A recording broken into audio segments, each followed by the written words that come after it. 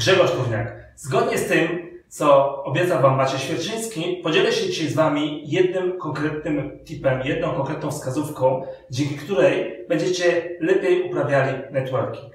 Otóż chciałem dzisiaj się wami, z Wami podzielić czymś, co teoretycznie każdy przedsiębiorca i każdy handlowiec zna, lejkiem sprzedaży. Otóż lejek sprzedaży jest to, no, jak nazwa wskazuje, po prostu lejek. Ale ten lejek składa się z trzech warstw. Wielu przedsiębiorców, wielu handlowców o tym zapomina. Zanim przejdziemy do warstwy sprzedaży, zanim będziemy oferowali klientom nasze usługi, produkty, najpierw trzeba przejść przez warstwę informacji, a potem warstwę relacji. Warstwa informacji to jest marketing, czyli to, jak wygląda nasza strona internetowa, jak wyglądają nasze foldery, nasze wizytówki, kampanie internetowe i różne inne. Także to jest ta warstwa marketingu, kiedy informacja trafia do wielu ludzi, w pewnym sensie anonimowo, nie widzimy tego konkretnego nadawcy. Później przechodzimy do warstwy relacji. Warstwa relacji to już jest warstwa, kiedy nawiązuje kontakt konkretna osoba z konkretną osobą. Przykładowo tak zwane cold call. Ktoś dzwoni, dzień dobry Panie Grzegorzu, czy Pan jest osobą podejmującą decyzję Państwa w firmie? Tak, jestem, bo to i to i to. Już jest kontakt człowieka z człowiekiem. Podobnie może być cold mailing, czyli podobnie Ktoś wysyła, podpisuje się, że w związku z tym, czy z tym organizujemy to, czy to, serdecznie Pana zapraszamy. Kolejnym elementem zbudowania relacji są rekomendacje. Czyli z chwilą, kiedy ktoś nas poleci, czy my kogoś polecamy, e, ze względu na to, że ktoś jest dobrym dostawcą usługi. I kolejna rzecz to są eventy. Czyli miejsce, gdzie uprawia się networking, miejsce, gdzie poznaje się nowych znajomych, miejsce, gdzie można rozwijać swoją sieć kontaktów, a jednocześnie miejsce, gdzie się nie sprzedaje.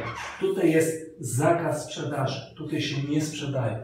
To nie jest miejsce, które służy sprzedaży, to jest miejsce, gdzie, gdzie budujemy relacje i budowanie relacji jest stosunkowo proste.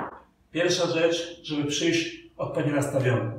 Druga rzecz, żeby być przygotowanym, mieć wizytówki, być dobrze ubranym adekwatnie, być wcześniej, no i być osobą, która jest pozytywnie nastawiona, która ma otwartą postawę, jest uśmiechnięta. Takie proste rzeczy. Poza tym, żeby na evencie być osobą, która ma konkretne cele. Bez celów nie ma po co chodzić na event.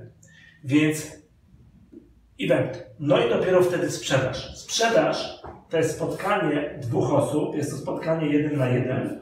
Jest ktoś, kto, mm, nasz tak zwany prospekt, jest handlowiec prospekt ma jakiś problem i handlowiec ma rozwiązanie.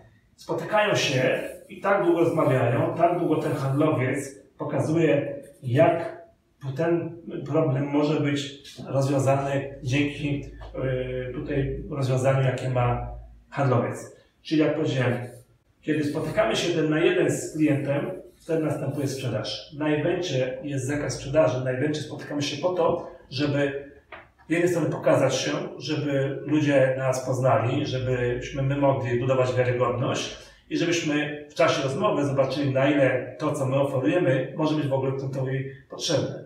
Czyli też robimy delikatne badanie rynku, ale jak powiedziałem, nie wciskamy, nie namawiamy, nie przekonujemy, budujemy relacje. To jest coś, co, jak powiedziałem, wymaga pewnego wysiłku jest to troszeczkę poprzek tego, co wielu ludziom się wydaje. Czyli nie przychodzę na event po to, żeby sprzedać, nie przychodzę na event po to, żeby rozdać 100 wizytówek. Bardzo często zadaję pytanie ludziom, których szkole, w firmach, których szkole handlowców, gdzie kiedy szkole przedsiębiorców, czy szkole na y, Koźmińskim, czy na SGH, y, profesjonalistów na studiach MBA, czy studiach z PR-u, kiedy mówię, że na, kiedy rozdacie 20 wizytówek, ilu klientów do Was zadzwoni? Zazwyczaj zero a kiedy zbiorę 20 listówek, do ilu ludzi zadzwonię? Do wszystkich. Jest do pewnego stopnia y, rozdawanie wizytówek nie ma sensu. Jest sens tak poprowadzić rozmowę, żeby ludzie nas polubili, żeby zobaczyli, jaką mamy kompetencje, żeby zobaczyli, że jest o czym dalej rozmawiać, żeby osoby, z którymi rozmawiamy, chciały później do nas wrócić i powiedział, tak, ty masz naprawdę z jednej strony duże kompetencje, inni mówią tobie dobrze i z tobą chcę pracować. Także kiedy patrzycie na rynek sprzedaży, to zobaczcie, gdzie jest miejsce sprzedaży, a gdzie jest miejsce budowania relacji, gdzie jest networking. On jest miejscem, jak powiedziałem, odseparowanym od procesu sprzedaży. Także Życzę Wam powodzenia na eventach, żebyście budowali dobre relacje, które przełożą się później na konkretne kontrakty i kontakty.